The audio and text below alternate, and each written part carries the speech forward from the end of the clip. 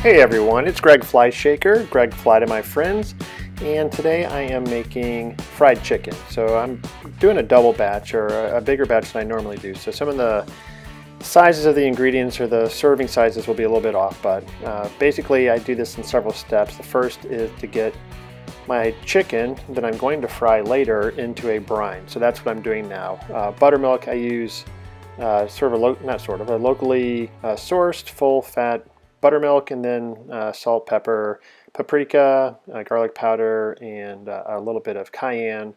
And that's my brine. So next step is to get the chicken out, and this is just personal preference.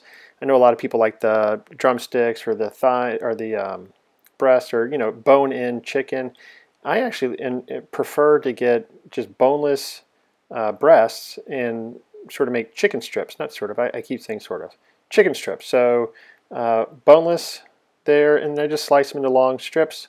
Throw that in the brine. I'm not going to make you watch me cut all the chicken.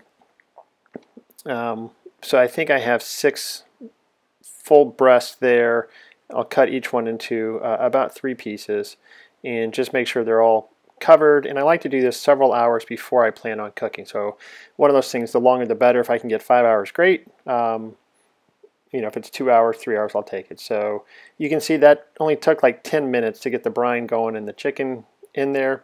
Um, so now it's 8 o'clock at night. I don't normally cook dinner at 8 o'clock. Just one of those weird family uh, change of plans things where uh, we had to move things around. So uh, it's a late late dinner. And I make uh, too much chicken.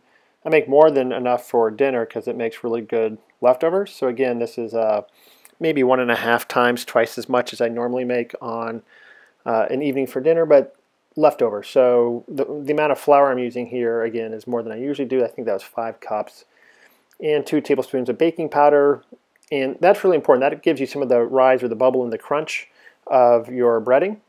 Um, so just sort of set that aside. Now I'm taking the chicken out of the brine.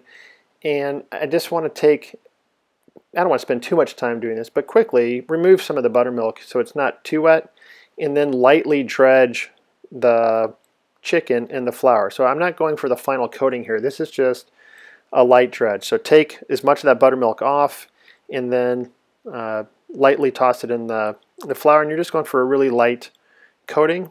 And then what I'll do is I'll go back into the batter there, or to the brine that's seasoned. Remember we seasoned it?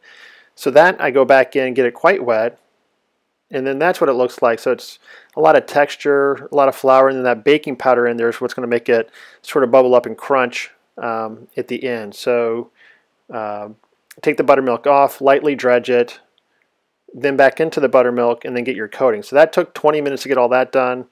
I started melting my coconut oil. I always do my fried chicken in coconut oil. So I, I had that warming up while I was uh, getting all the chicken ready. I take it up to 350 degrees, 325, somewhere in between there. And then right when it starts to smoke a little bit, I'll put the chicken in. I usually like to go 8 to 10 pieces. Just that's the size of my um, griddle there, or skillet. So that's 9 pieces. You can see I'm half an hour in from starting the, the chicken. Um, so it only cooks a few minutes per side. Depends again on your skillet. And then again, it depends how crispy or brown you like your, your chicken. So, oops, those got stuck. A couple minutes per side. It really doesn't take that long. It's just one of those recipes that you have to start early in the day and actually think it through to make sure you have time to do each step. So you turn them over. When it's, you know, as brown as you like it, you're done. And then sometimes I'll warm the oven up to 200 degrees or 175, and then I'll put the chicken in to warm up while I do the next batch. So you can just see the, the oil's already hot. Might as well keep going. Uh, you're making a mess. And this is why I like to do two or three batches at a time because we usually go through it during the week. And uh, anyone who's read my blog enough knows that sometimes I'll use einkorn flour on the chicken breading here. And my kids really don't notice any difference. And you end up with, I think, pretty tasty chicken strips, uh, fried chicken and coconut oil. It's pretty quick, it's pretty easy, it's delicious.